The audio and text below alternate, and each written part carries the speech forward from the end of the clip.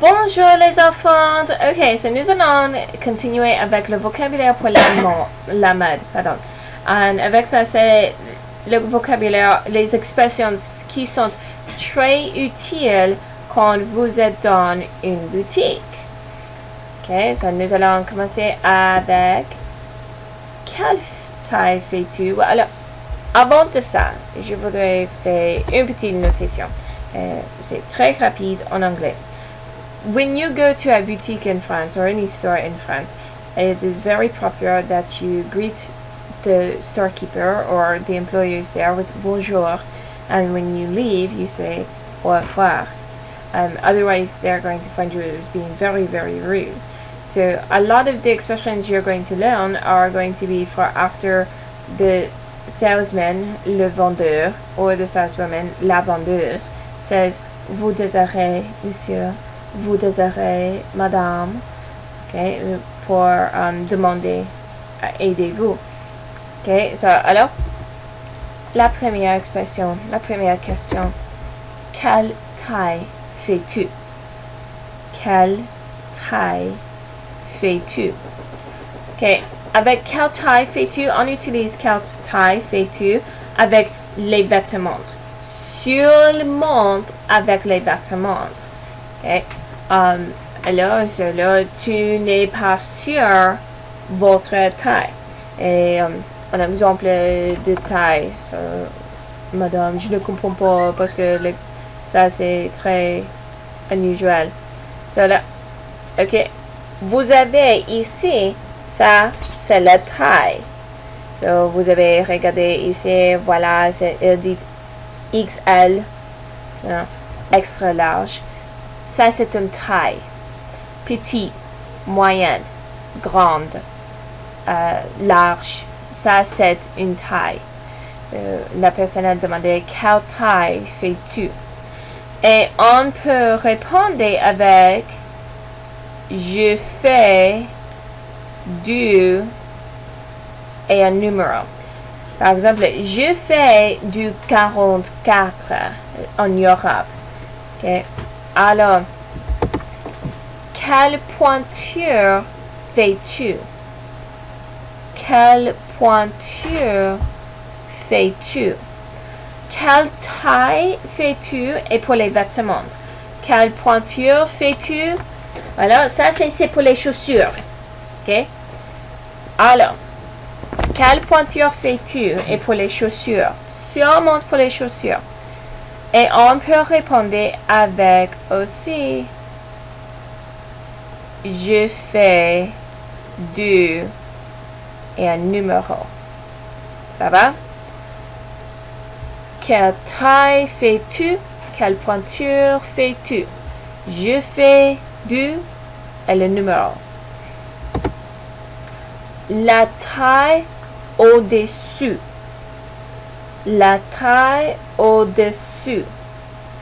Euh, regardez cette image. Euh, vous pensez que tu fais du grande. Mais non, elle est trop large, elle est trop grande. Tu as besoin la taille au-dessus. Euh, voilà, ça ne marche pas. Vous devez utiliser ça. Ou peut-être le moyen est incorrect. Alors, tu fais la taille au-dessus, smaller size la taille au-dessus. La taille au-dessus. Peut-être vous pensez que tu es un moyen. Et non, ça c'est incorrect. Tu as besoin de la taille au-dessus. Alors, ça c'est la raison pour en grande ou en large. Tu, euh, alors, la taille au-dessus. Au-dessus c'est long. Au-dessus, au-dessus, au-dessus, au-dessus. Voilà, ça c'est un peu de choses que vous pouvez utiliser aussi. Alors, avec ça, ça c'est les um, expression, ça c'est une carte pour les tailles et les pointures. Tu fais quelle taille? Je fais du 42. Les chaussures, tu fais quelle pointure? Moi, je fais du 37. Ok, tu fais quelle taille? Ça est la même et quelle taille? Fais-tu? Tu fais quelle pointure? Est le même comme quelle pointure fais-tu? C'est la même question, juste en autre ordre. Ok. Et en France, les tailles et les pointures sont très très différentes qu'aux États-Unis. Par exemple, pour les chaussures, pour moi, pour la pointure, je fais du 7 aux États-Unis. Mais en Europe, en France, je fais du 37. Pour les robes, les tailleurs, les poules, les chemisiers, ok, aux États-Unis, je fais du 12. Mais en France et en Europe, je fais du 44. C'est le même pour les hommes. C'est peut-être pour les chaussures, tu fais du 11. En France, tu fais du 42. Euh, pour les chemises, tu fais du 14. Euh, en France, tu fais du 36. Elle était simplement comme ça. C'est un peu bizarre, je sais. Mais N'oubliez pas que en Europe, il utilise le système métrique aussi. C'est peut-être une raison, je ne sais pas. Ok. En autre chose, alors c'est la vendeur ou la vendeuse. Dites, vous désirez, monsieur, vous désirez, madame. Tu peux dire, je voudrais quelque chose pour et donner un événement. par exemple, euh, je voudrais quelque chose. Quelque chose veut dire something. Pour un rendez-vous romantique. Et voilà. Ou tu peux dire, je voudrais quelque chose pour l'anniversaire de mon père. Et peut-être c'est une cravate, mais tu n'es pas sûr. Vous, devez, vous pouvez utiliser cette expression aussi. Je voudrais quelque chose pour et donner l'événement. Je cherche pour porter ou mettre avec bla bla bla.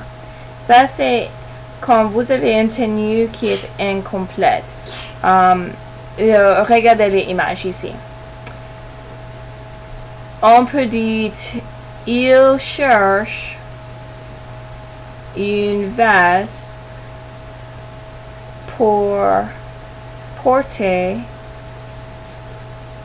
avec un pantalon blanc. Je peux dire je cherche un t-shirt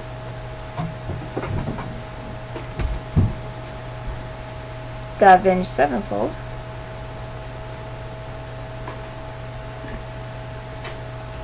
pour mettre avec un jean des greniers.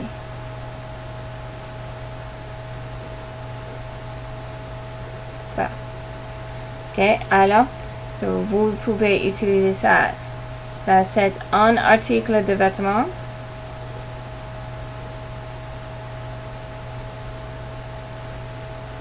et finit avec un article de vêtements.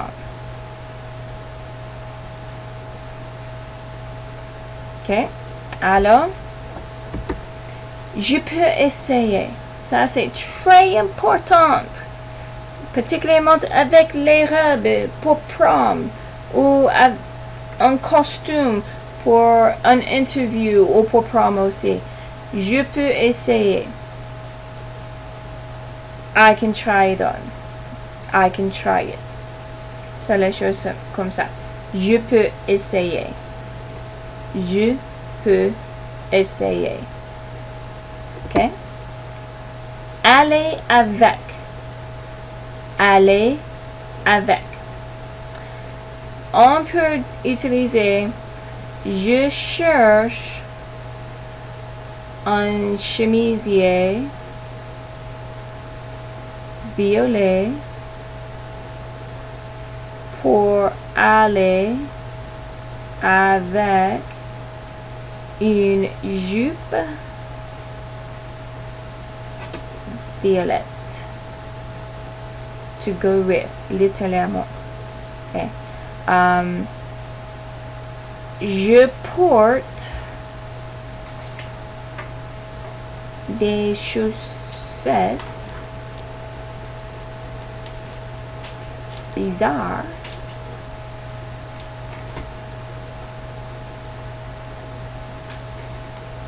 pour aller avec des chaussures. Simplement comme ça.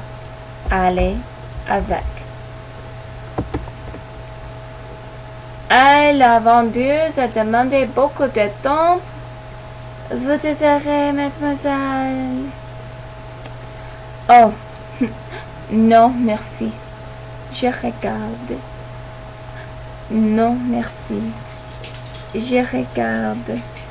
Alors, c'est qu'on tu n'as pas l'intention d'acheter un vêtement. Alors, euh, just looking. Ça, ça veut les choses comme ça. OK? Combien coûte? Combien coûte? Alors, par exemple, combien coûte le jean?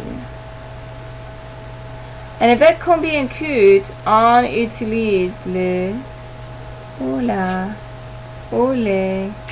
ou à l'apostrophe. Combien? Coûte l'impair?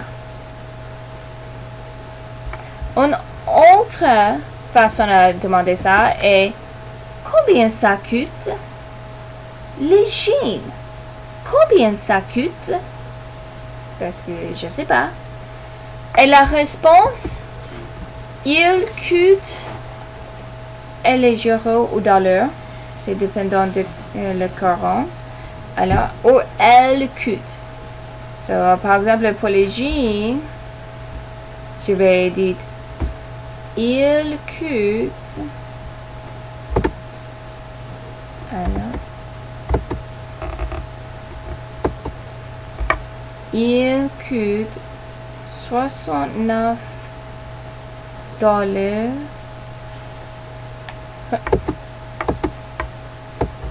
Oui.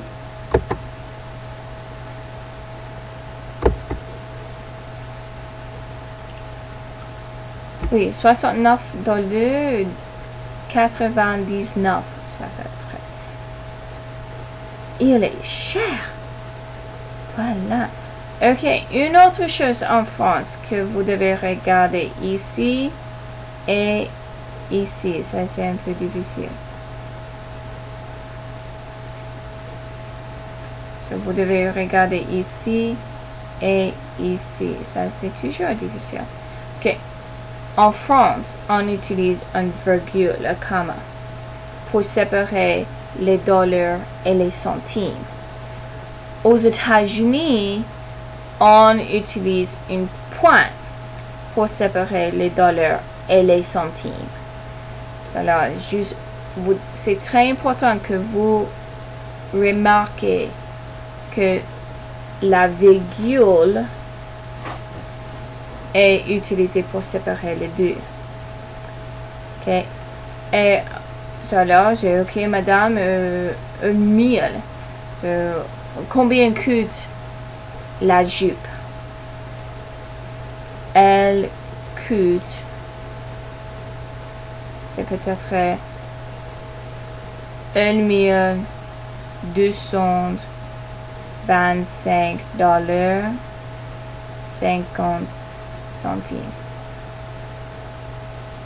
Ok, il y a un espace entre 1000 et 100. Cela, ça c'est une autre chose que vous devez remarquer. In France, we don't use the, the comma, la virgule, in order to separate our thousands from our hundreds place. There's a space between them. That's it. C'est ça. Ok. Alors, et quel est le prix de alors je peux demander quel est le prix du jean la réponse le prix du jean est 69 69 dollars 99 exactement comme ça. Il est cher ok alors so, vous devez avec? Quel est le prix de? N'oubliez pas 2 plus le fondu 2 plus la fondue la. 2 plus l'apostrophe fondue l'apostrophe et 2 plus les fondés. Quel est le prix des chaussures? Le prix des chaussures sont 80 dollars. Les choses comme ça. Ok, les enfants. Pratiquez ces expressions parce que c'est très important que vous pratiquez les expressions. Pratiquez la prononciation. Et au revoir.